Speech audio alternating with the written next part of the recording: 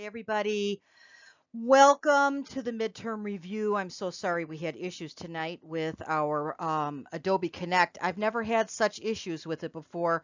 I'm going to investigate other avenues um, if that's going to start causing issues for me. But anyway, I am developing this midterm review YouTube video for you so that you can have a heads up on the material that you need to cover. And you know, I disclaim this every time I do a video that this is not all inclusive of the material that will be covered on the exam. Some of the material may be covered, some of it may not.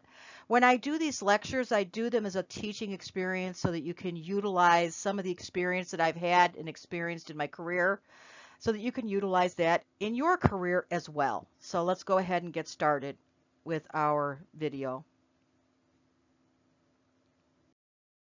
Okay, Safe sleep. This is one of the first opportunities we have to teach parents about uh, their newborn, and that is how we can reduce the occurrence of sudden infant death syndrome in this population. Now, we've learned over the years that babies that sleep on their back have a lower incidence of sudden infant death. We've also learned that parents who smoke have an increased risk of having a, a child that suffers from sudden infant death syndrome. We also know that we don't want bumper pads or pillows in the crib.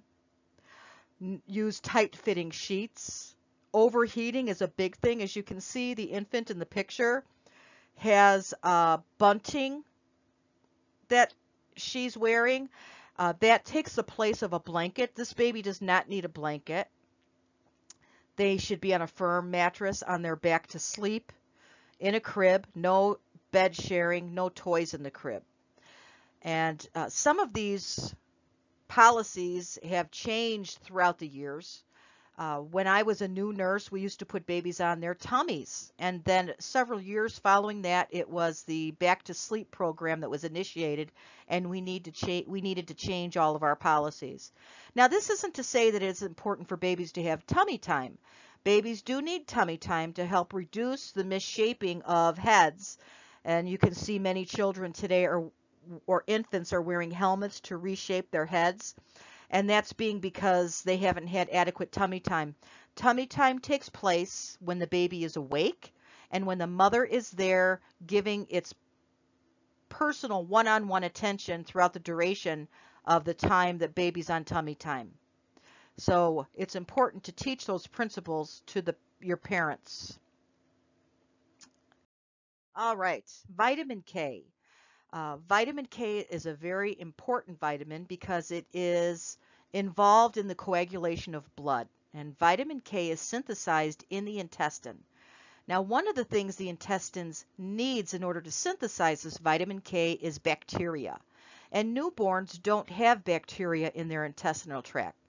They have meconium, and meconium is a sterile substance primarily composed of deciduous materials that and skin cells that occur in the uh, amniotic sac during gestation. So they have a sterile intestinal tract. Now having a sterile intestinal tract and a, a vitamin K deficiency puts infants at an increased risk of bleeding.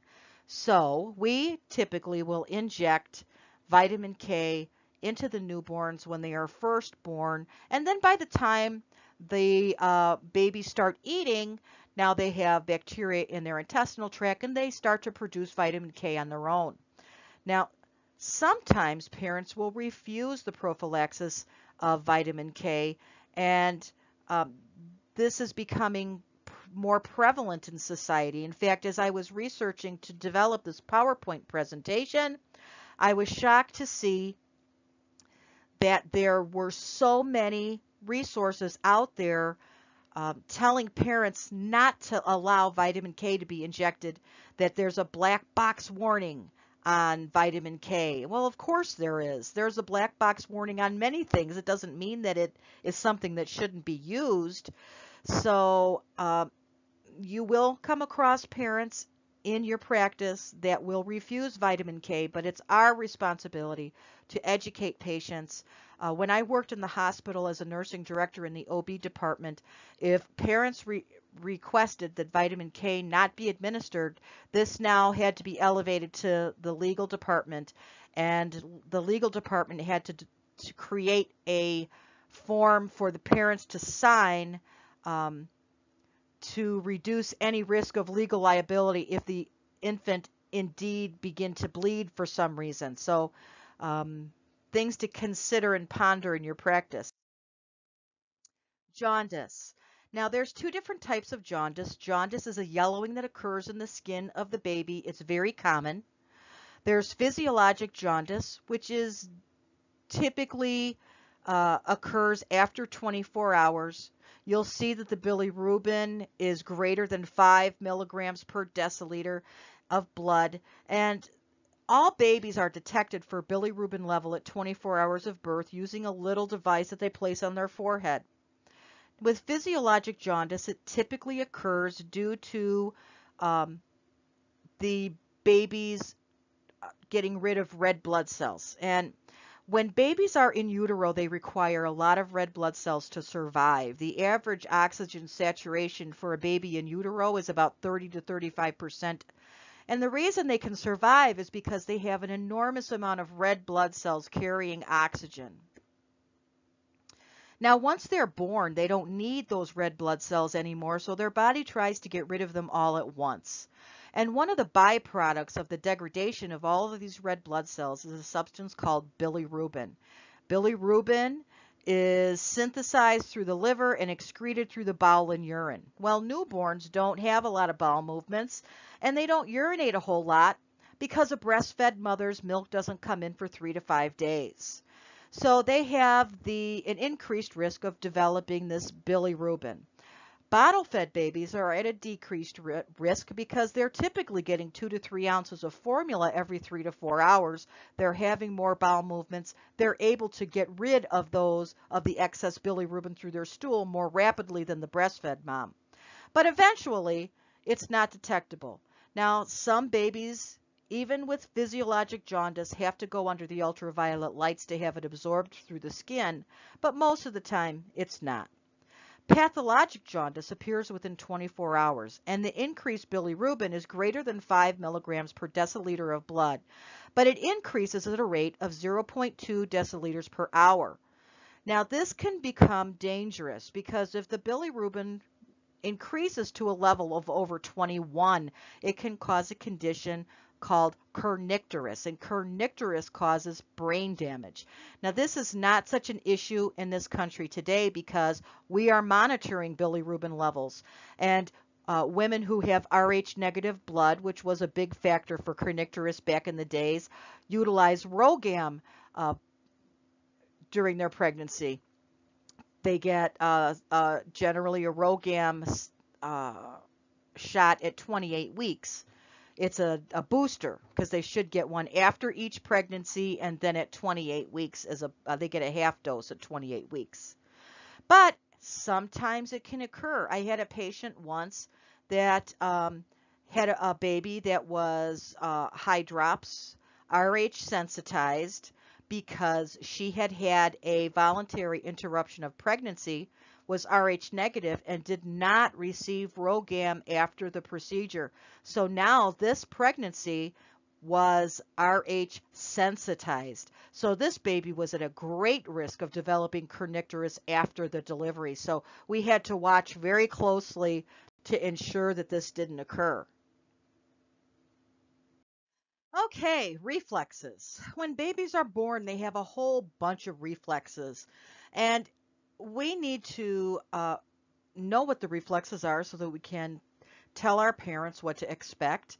And also, we need to know when they disappear so that the parents won't think something has dreadfully happened because the grasp reflex is no longer in effect after six months of age. So, um, we need to know the, the, the basic ones. Uh, Moro, grasp, rooting. Those are the most common ones that you're going to see. Placing, sometimes it's called stepping, uh, but those are the ones you want to keep in mind. Whoops. Body mass index is um, something we need to know as practitioners, not only in the pediatric population, but in the adult population as well. And we need to know the parameters of uh, not only what normal weight is, but what a normal BMI is, and how do we classify underweight, healthy, overweight, and obese. So a healthy weight, I know, is a BMI of under 25, and overweight is a BMI of over 25. Obesity is classified as a BMI of greater than 40. Well-child visits are very important aspects of healthcare in children. The first two years are really the most important because those two years uh, we see the patients much more frequently. Typically, providers want to see the baby a few days after they go home from the hospital and then perhaps at two weeks and then at a month. Every provider has a different uh, routine that they follow. Uh, some uh, every week, uh, then every month, and every two months. And what they're doing during those visits is evaluating the growth and development of the child to ensure that they're on task and not perhaps going into that failure to thrive category where they're in the 10th percentile of weight and growth. Uh, doing physical examinations to see if there's any uh, abnormal conditions associated with the stage of development. Uh, anticipatory guidance is a big thing. What is that? That is us talking to the parents and having a conversation uh, with them of what they should expect to occur from now until the next time they come to the provider's office. So that then when we see them, we can ask, uh, are they saying two words? Are they looking at you in the eye? Are they smiling? Are they uh, rolling from front to back? Whatever they should be doing during that developmental stage, we as a provider want to want to catch it right away, and we need to explain this to parents so they know what to look for. So I can say to the parents, when you come back for your next visit, um, Tommy should be saying two to three words. He should be taking two, two to three steps, uh, walking with hands, or whatever he should be doing at that developmental stage. And then when the parent comes back, and you want to build a routine so you know that you're always going to tell the parents these three things to look at. So, okay, this is an eight month checkup. So the eight at the eight month checkup, I'm going to ask this, this, this. And then when they come in for the eight month checkup, then you can say, is Tommy doing this, this, this? So you want to build a routine. Not only is it good for your practice, but it's good for your liability risk. If you always document the same thing and always follow the same pattern of practice, lawyers love that. So if any of your cases were to go to litigation, you can it wouldn't be a question.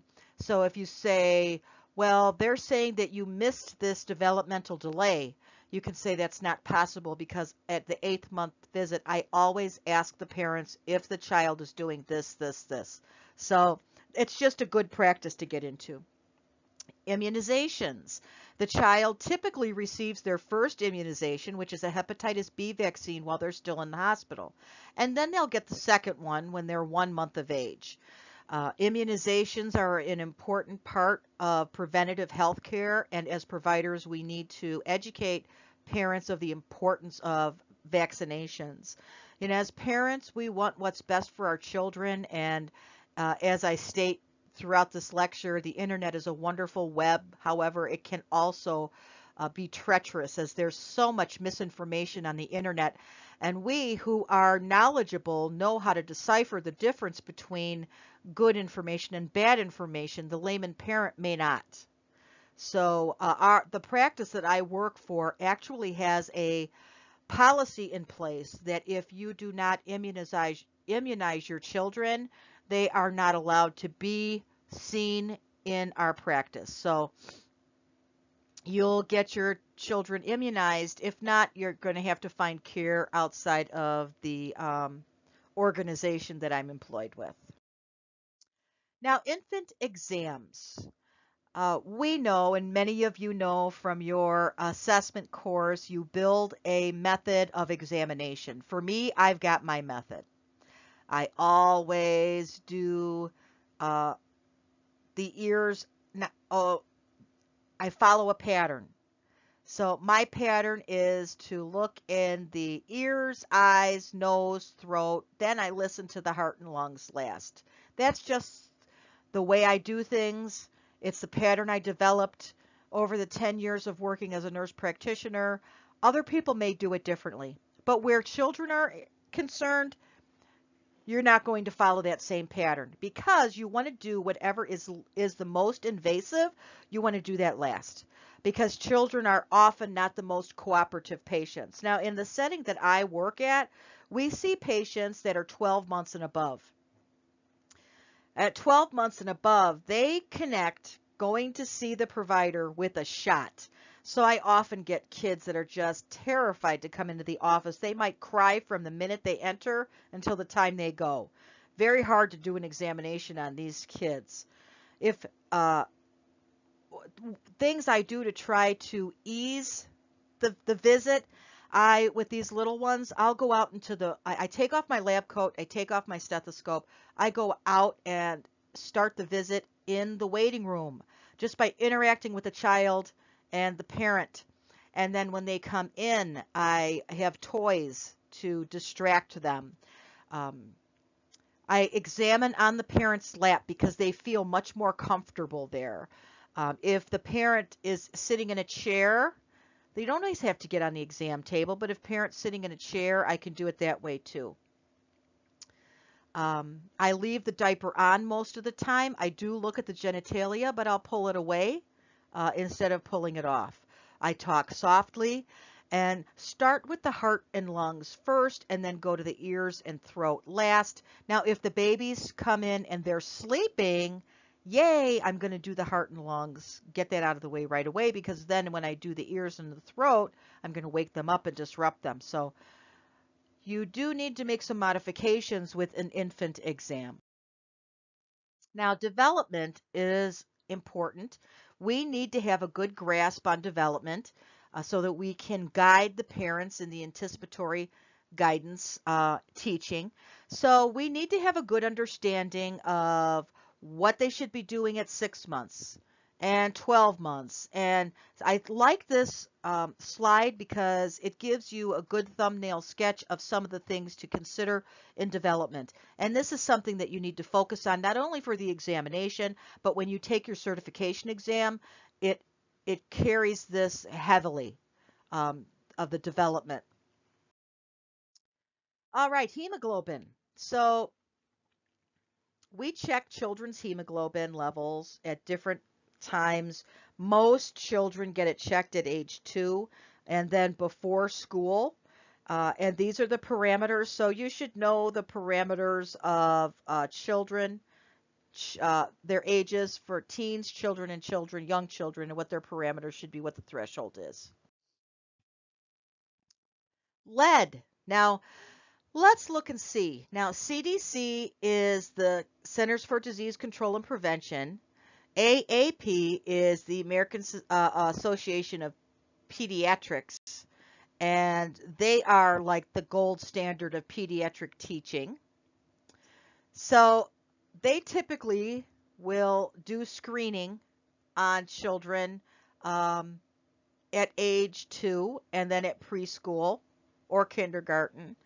Now, where I live, I live near the city of Chicago. I practice near the city of Chicago and they do mandatory lead screening on kids more frequently who live in the Chicago area because there's such a high probability of the paint in the old apartment building being lead based. So they do it more frequently. And checking this is critical because elevated lead levels in children can cause a lot of learning issues. So lead screening is what needs to be done.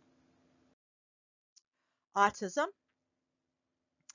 I think that we hear a lot about autism today, not only with the association with vaccines, which is completely false, but I think it's being recognized more often.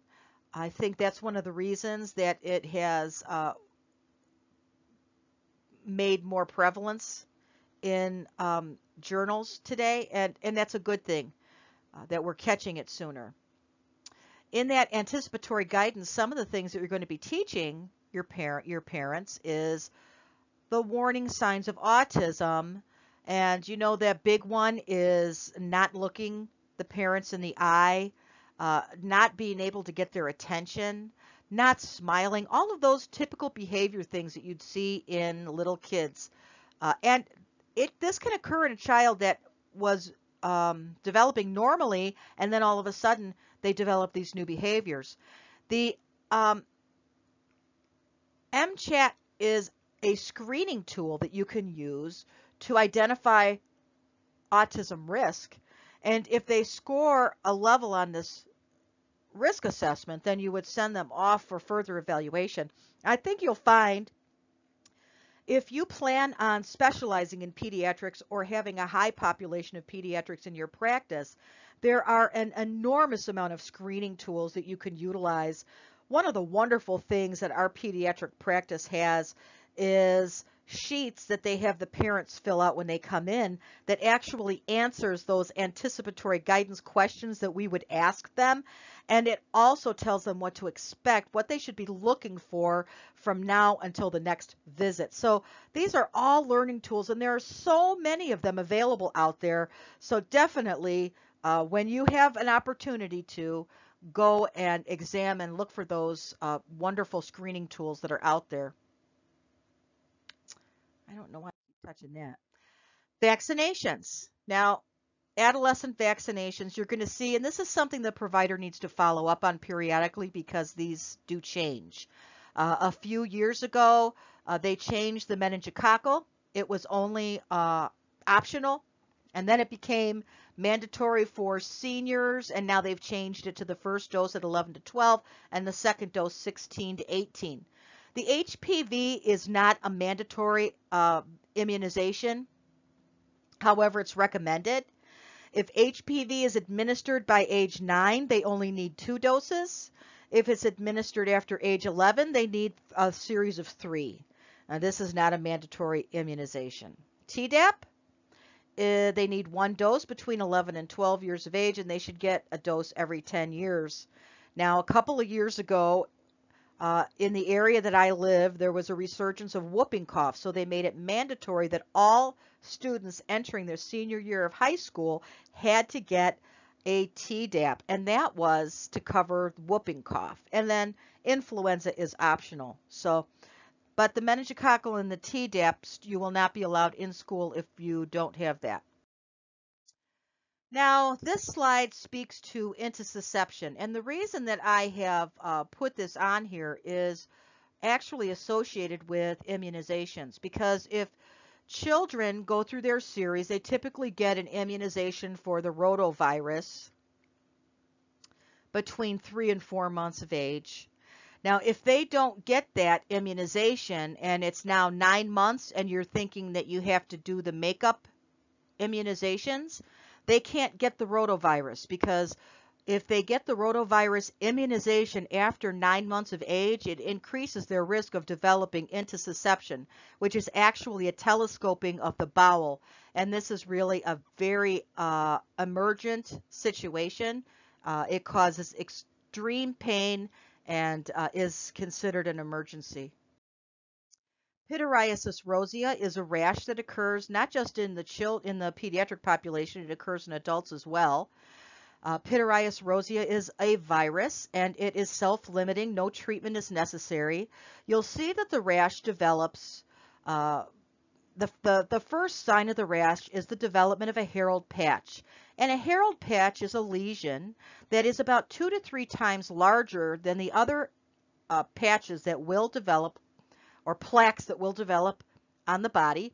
And it usually uh, is first seen two to three weeks prior to the development of the other um, plaques that occur. Uh, it's intensively itchy. Uh, so you want to avoid being overheated or hot, no hot showers. In extreme cases, they'll utilize UV light to help reduce the side effects and symptoms, but most often it's self-limiting. There isn't really anything that you can do to make it go away.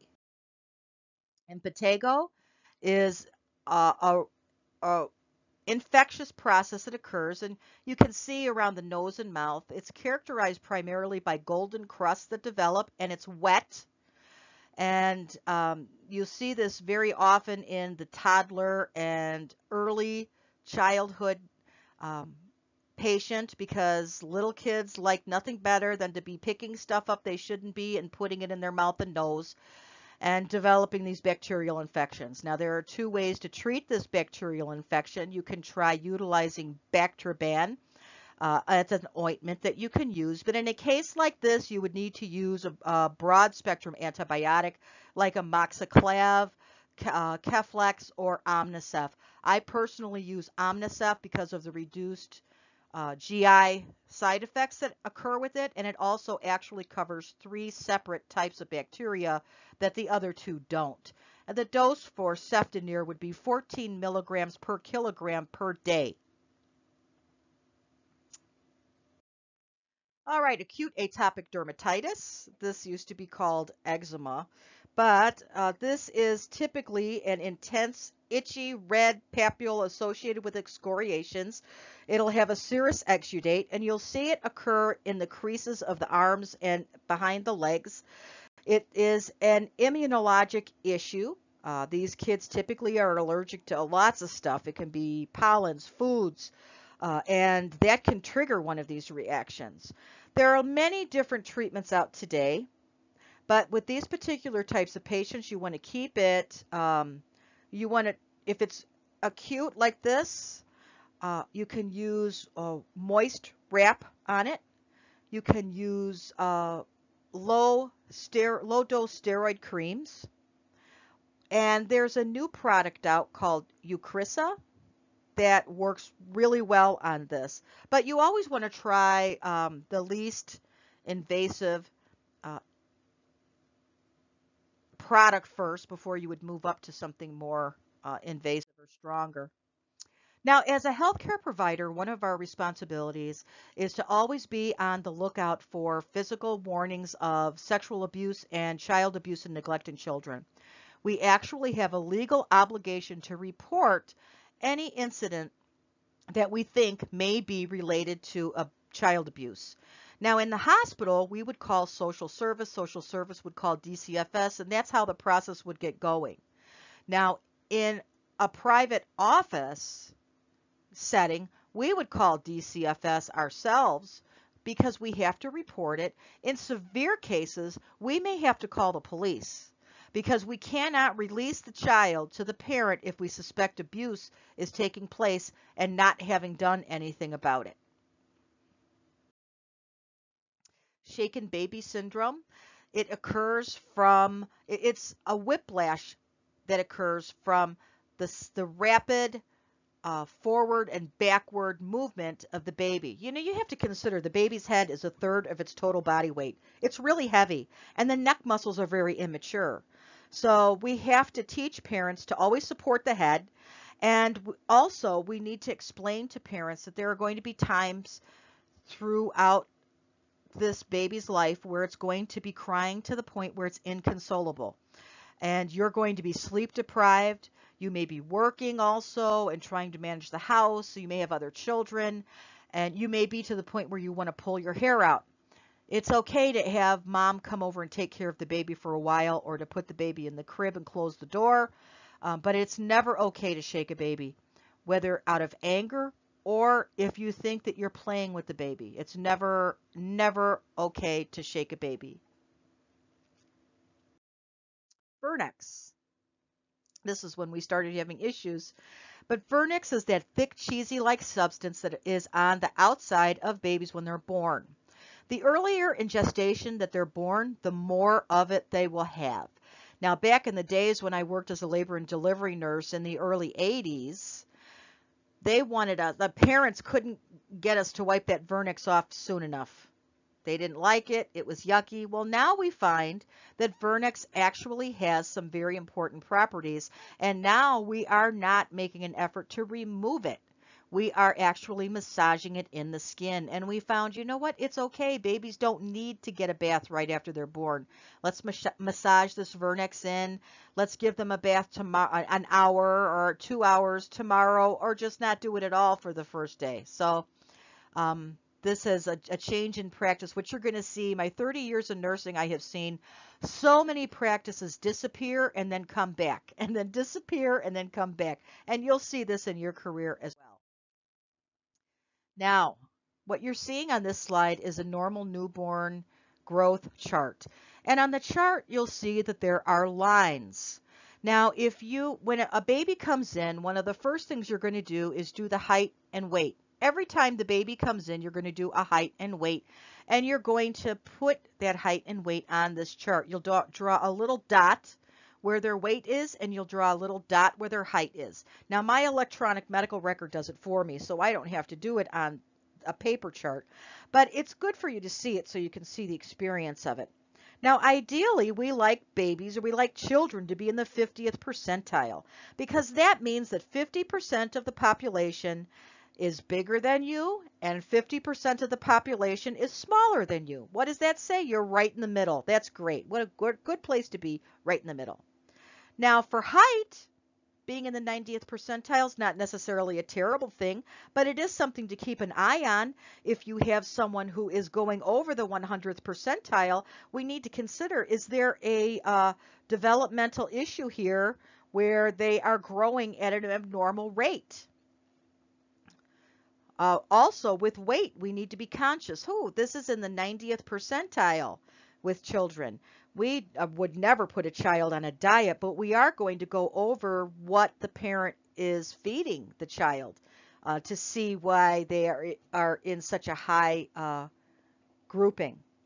Now, on the other end of that, we're going to look to see if they aren't growing enough to look for developmental delays in growth and weight in the 10th percentile. We want to rule out that there isn't any failure to thrive. Now, initially, when babies are first born by day three or four, they lose a little bit of weight. They lose about 10% of their weight, but they gain that back right away. By uh, four to seven months, they actually should double their birth weight. So those are all things you need to keep in consideration in your pediatric population the introduction of foods. Now, parents are going to come in, especially new parents with no um, experience with children, are going to have a zillion questions. They're going to want to know when they can begin to introduce foods. Now, by the time a child is three years of age, they should be eating whatever you're eating at the table. You know, you may be conscious to make sure you're not giving them foods they can choke on, but they should be eating everything you're eating at the table. Other considerations is choking and you want to make sure they're eating high quality food that's good for them, not the junk food. All right, caput versus cephalohematoma. Caput is a swelling that occurs on the baby's head. It's typically due to molding or the way the baby has been in the birth canal. Um, it's self-limiting, no pathologic significance, reabsorbs, goes away on its own. Excuse me. A cephalohematoma is actually a collection of blood uh, between the skull and the periosteum. This is, uh, it, it, may be of no significance, but you can see this an increase in uh, providers that have used a vacuum to uh, aid in the extraction of the infant through the birth canal. Uh, in these babies, we need to be on the lookout for uh, bilirubin because their level of bilirubin may be elevated because now they have more red blood cells that are outside the circulation that can cause uh, an increase in Billy bilirubin. And uh, in some cases, they may actually want to explore to ensure that there is not a uh, fracture, a cranial fracture. Cleft lip and cleft palate. Now these babies sometimes can be born with just a cleft palate. Sometimes they're born with a cleft lip and a cleft palate. Now these things typically, they, the surgical repair they're doing for cleft palate today is amazing. You can barely tell that there was any occurrence at all. But they typically wait a little while before they do the surgical repair. So there are all different types of devices you can use to help with feeding. Feeding can be a little challenging with these babies because they can't get a good suction device. Now there, uh, there are ways that professionals can teach these moms and babies how to breastfeed, or if you're bottle feeding, they have special nipples that you can use that will help that suck. Um, but most of the time, um, they they may have a little issue with the, the feeding, but it, they can um, be taught how to to get it. We can be taught how to get around that.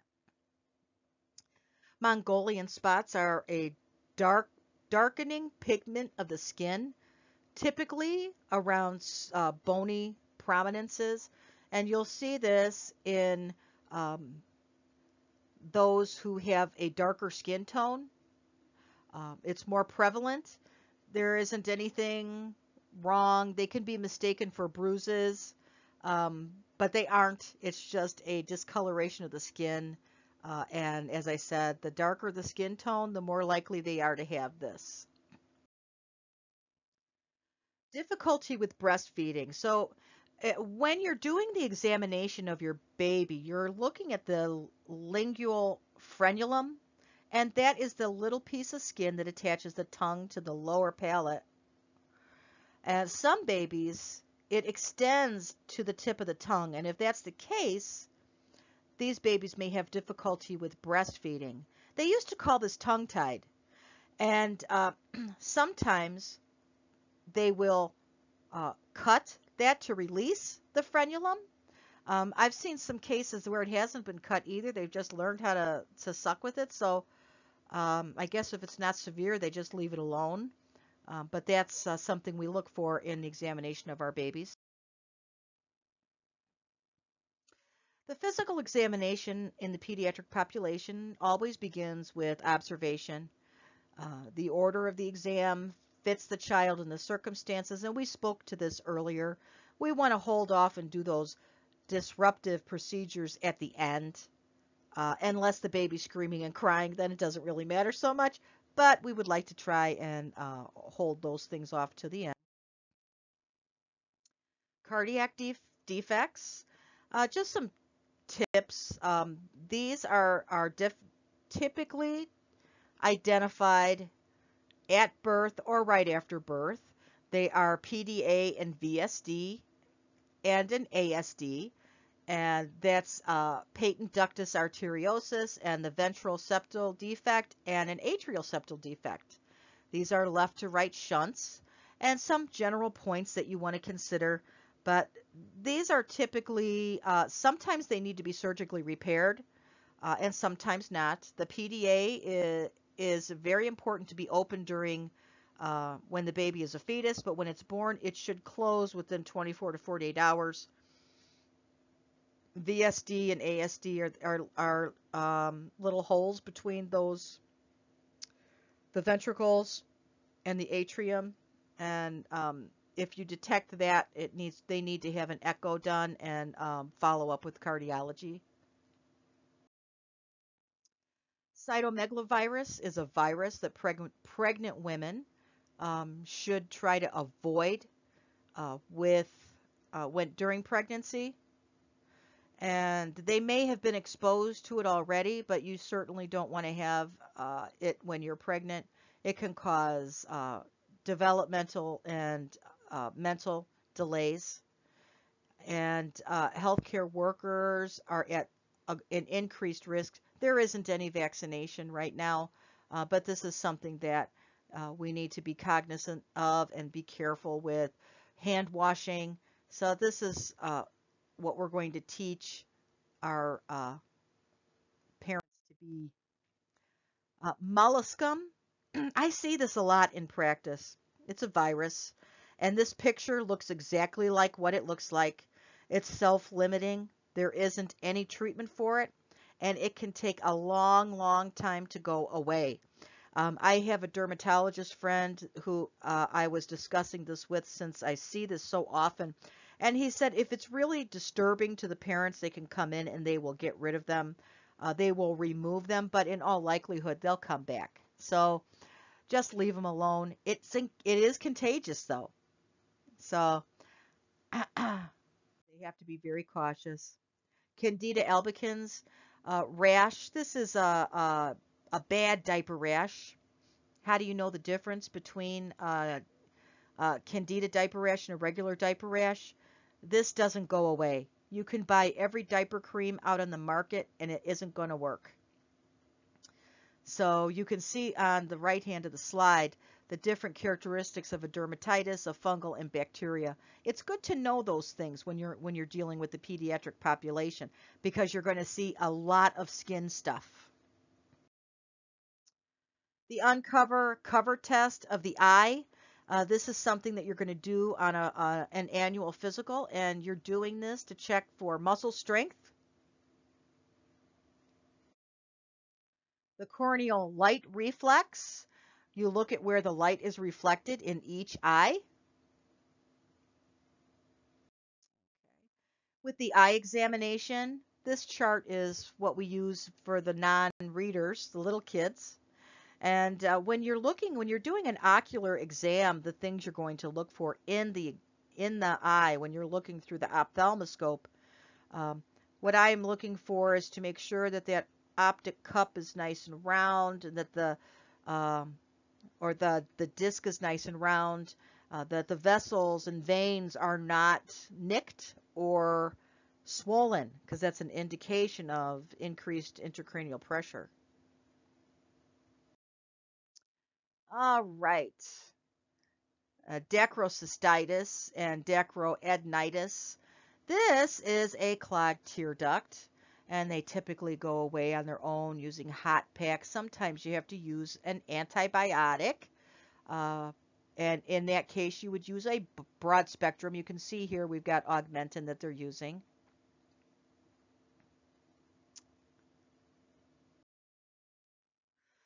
Now this one is a big one. A white glow in a child's eye could be a sign of eye cancer. So if you don't see red, see an eye doctor. Now one of the first things that I do on kids when they're on babies, when I used to see babies in the hospital, was to check for the red reflex. Dark, darken the room, get my light, look in the eye. You should see red in both eyes. If not, you need to um, send them out for uh, consult. And um, I actually read a case last year of a retinoblastoma, which is what that is, that was misdiagnosed. And these things are almost always curable. They remove the eye, there's no issue.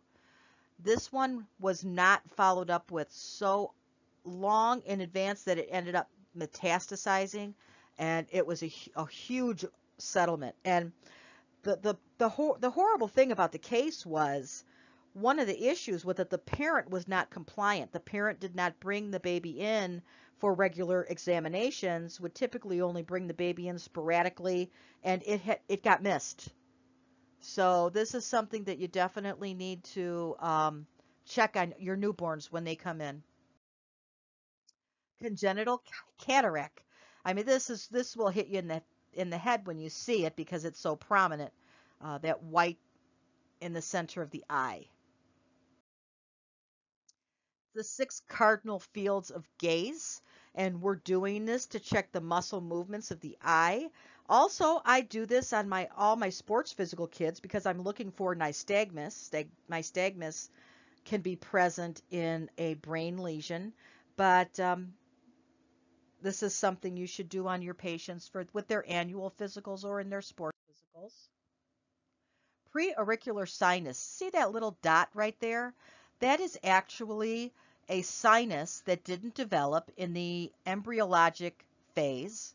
And there typically isn't anything to do with it. Just leave it alone. It'll close on its own, or it just kind of becomes an empty little hole there. Um, but you want to keep it clean because I've seen cases of that that have abscessed uh, due to poor hygiene practices, and that was really yucky. Lymph nodes. Uh, part of a physical is to check the lymph nodes. Uh, when my kids come in when they're sick, I always check the upper lymph nodes. If they come in for their sports physical or for an annual physical, I check their superficial or surface lymphatics. Those are always easily felt, and I check to see that they aren't enlarged, that they don't have any fixed nodules there. Shotty nodes. Now, what is a shotty node? If children have had a bad infection where their lymph nodes have swollen, those lymph nodes, once the infection resolves, will always stay a little bit bigger. And those are now called shotty nodes. Um, they're typically about less than a centimeter in size. They're mobile, they're not tender, there's no redness, there's no heat. They are firm. So, uh, but they're not tumor. Uh, they have a history of a past infection where that node has been swollen. Causes of wheezes and rhonchi in kids. Uh, unilateral might be pneumonia. Foreign body aspiration is a big one too. Um, mediastinal mass, tuberculosis, bronchial uh, bronchiectasis, vascular ring. Uh, bilateral asthma, bronchiolitis, mycoplasma, cystic fibrosis, alpha-1 antitrypsin deficiency, severe pneumonia. Those are both sides. Croup in children. And I, I used to hate it when my kids would get croup, and I get lots of kids who come in with croup. Uh, you can see what croup is. This is a narrowing of the airway.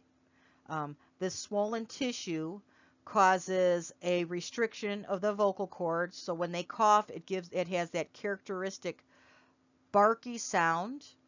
Uh, we treat this typically with humidified air, um, sometimes steroids, although that is controversial right now. Uh, so uh, you need to ensure that the airway is not compromised and that they are able to breathe this can be caused by a virus also.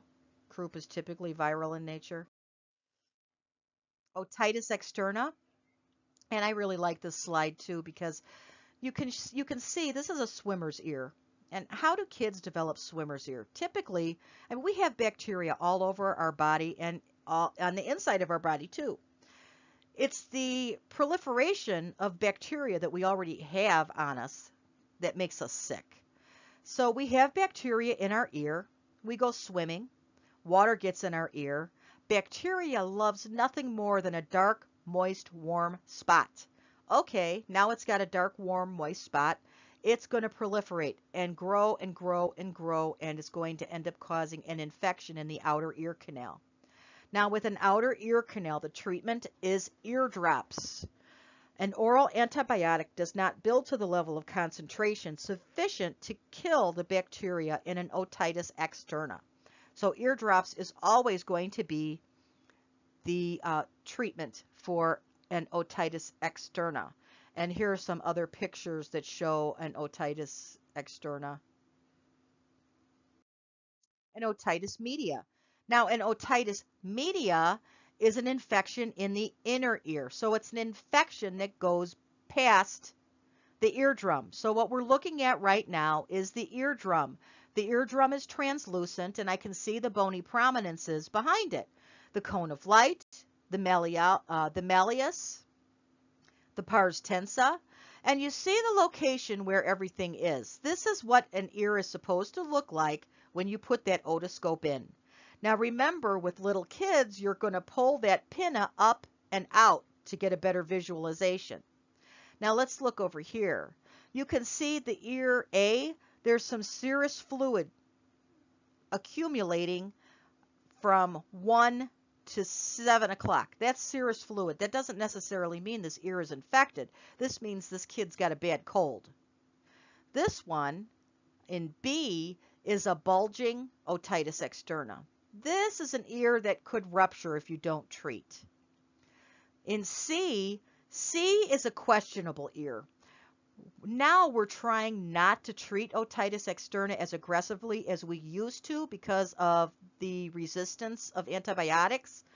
I have to honestly tell you, if I saw this ear in practice, I would treat it.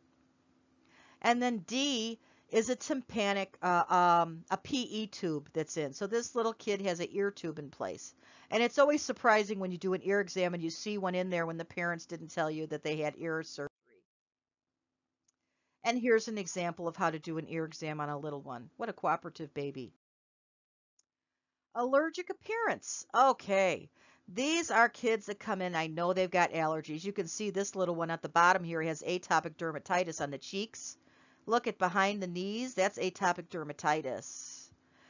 Look at that. Now these kids with allergies, the way he's snuffing his nose with his hand, they can actually build a, um, a crease, a permanent crease in their in their nose and that's a sign of allergies. The red itchy eyes, these are allergic shiners up here on the upper left-hand side.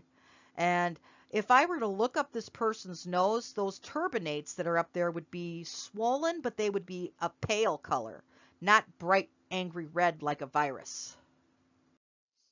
And this is how you look up the nose. When you look up the nose, you see that these appendages here are called turbinates. And when you get sick, or if you have an allergy attack, these turbinates swell and it can impede the breathing. That's why you get you can't you get stuffy. You can't get a good sniff in there.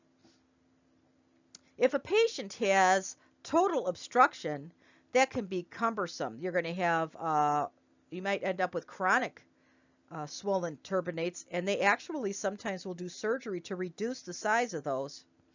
But I love using a steroid nasal spray on my patients with swollen turbinates. It really, really helps to reduce the inflammation, not only in allergies, but in people who have viruses too. All right, acute epiglottitis. Now, this is something that we really shouldn't see anymore because the HIB immunization that children get in infancy is protection against the, H, the HIB uh, against uh, epiglottitis. But if you were to see it, this is a medical emergency. And this is the case where you want to take a look. If you see, oh my gosh, that throat looks closed, they go to the emergency room because to aggressively look in the back of the throat makes it worse. And these children often need to be intubated. That's how severe the, the closure gets. Different types of coughs. Kids get these coughs and they last forever. Uh, it's it and parents get I, I get parents all the time they bring their kids in he's been coughing for a week and i explain to the parents you know I, his lungs are beautifully clear this cough might last a month so let's see what we can do to minimize the uh, effects in his life because of this cough. Maybe they're wheezing. They might need some steroids. They might need an inhaler. They might need a nebulizer treatment. But if they've got that yucky post nasal drippy cough there's not a whole lot we can do for it. Humidified air, hot steamy showers, lots and lots of fluids, using saline up the nose. Right now, the American Association of Pediatrics, oh sorry, the American Academy of Pediatrics is discouraging the use of any um, medication intervention in children under the age of five for these things unless they need a steroid or an inhaler. So no decongestants, no cough suppressants. Saline up the nose will work because most of the time these coughs are caused by postnasal drip and it helps to thin those secretions. Croup in kids. Oh, I've added that slide twice. Preemie lungs. So when babies are born uh, premature, they're at an increased risk of a virus called RSV. RSV is more prevalent in the fall, and there is an immunization for RSV. It's called Synagis. It's incredibly expensive. And the, the problem with Synagis is that the immunization only lasts the one month. So they have to get this immunization every month through the peak months of RSV season. So they pretty much limit the use of Synagis to those who are uh, extreme preemies. Uh, bronchiolitis. This is what a bronchiolitis looks like in a little kid, and essentially what it is is an inflammation of the bronchus uh, with mucus buildup. These kids might need steroids, um, humidified air, but these things that we're describing, they're all viral in nature. An antibiotic isn't going to fix it. All right. Laryng laryngomalacia.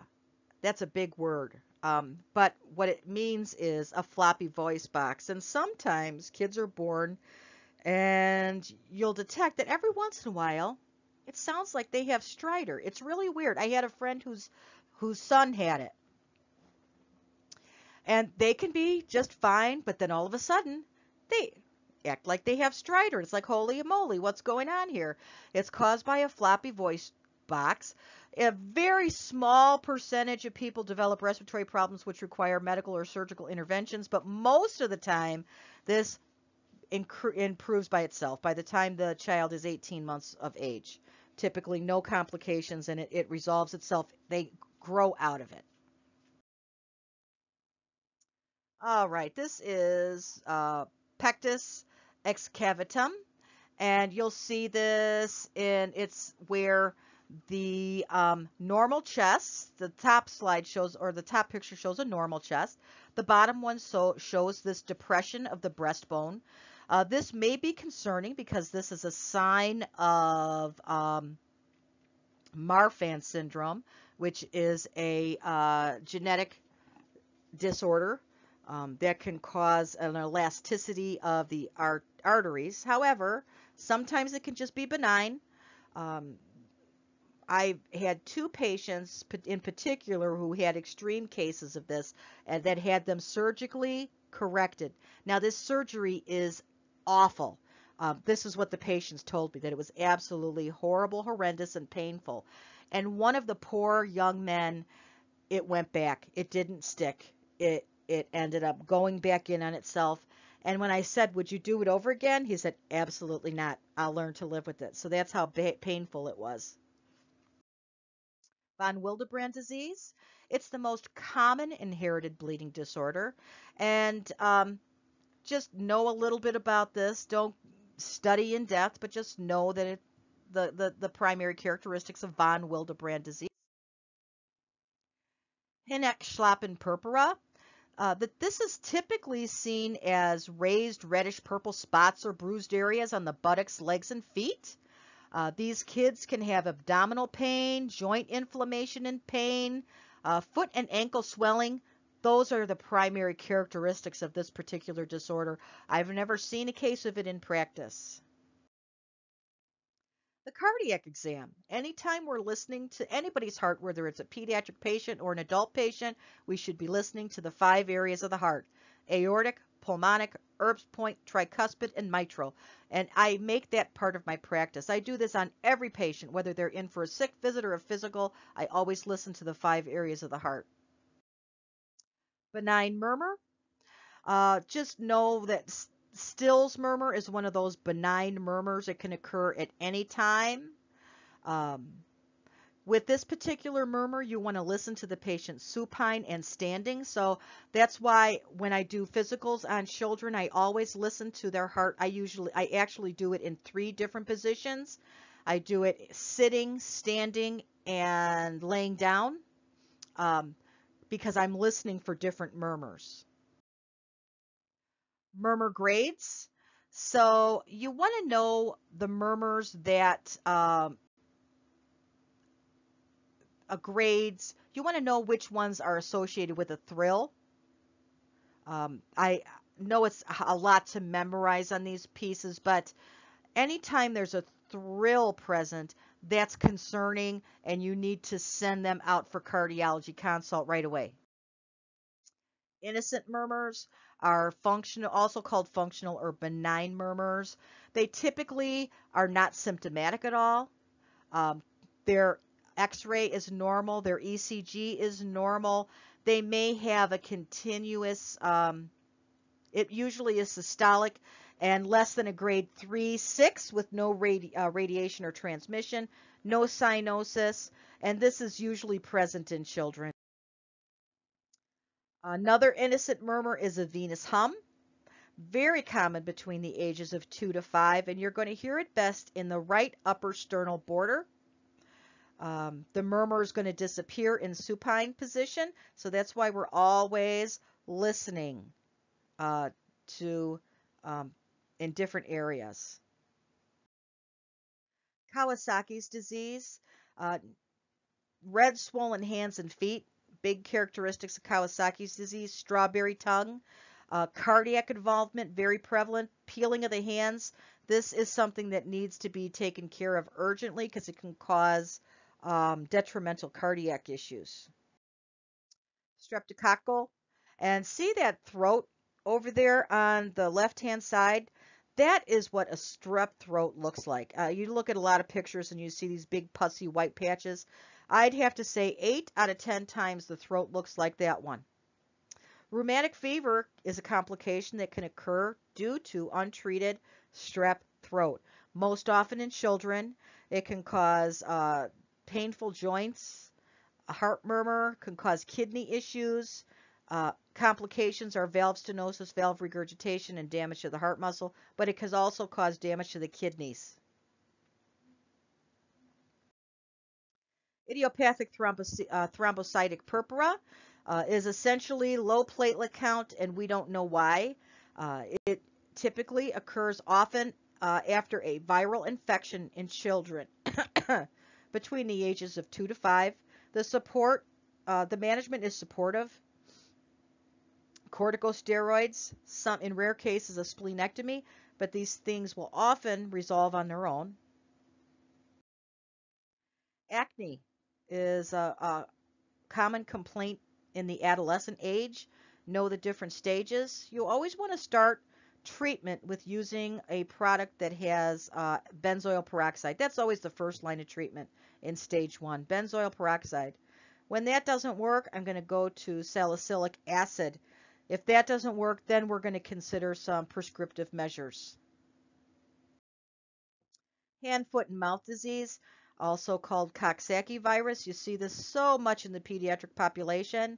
These kids typically present with a super high fever uh, and sores in, in their mouth. They may have a rash on the palms of their hand, the sole of their feet. They can also get rash all over the rest of their body. Um, this rash typically pops out after the, the fever is gone. It's a virus. There's no treatment for it. It's super contagious. ADHD. It seems like so many children are being treated with for ADHD nowadays. Um, but if the parents are concerned about the attention span or the inability of the child to concentrate, then they need to um, be screened for ADHD. There are uh, screening tools that you will have access to to uh, determine whether or not uh, there is a risk of ADHD. ADHD is treated typically with stimulants, which is surprising because if you think the child is hyperactive, stimulants actually have the reverse effect on kids with ADHD and helps them to focus and concentrate. Adolescent depression, depression, uh, it's really more common than you think it is, especially today. Uh, children are at an increased risk of depression due to the iso social iso isolation that occurs today with the use of social media and um, the inability to interact with others. Uh, so uh, this is something that needs to be screened. In fact, on my adolescents, when they come in for annual physicals, I do a very thorough uh, screening. I have a tool in my EMR that I use uh, to screen all adolescents for depression risk. And that concludes our presentation for today. Um, so I certainly hope that this was of benefit to you, and I apologize again for the issues we had with Adobe Connect. Uh, I am going to contact um, my service provider tomorrow and find out what was going on. Um, I've had issues in the past, but never anything of this nature. So I certainly hope that you find this helpful, and good luck on your exam.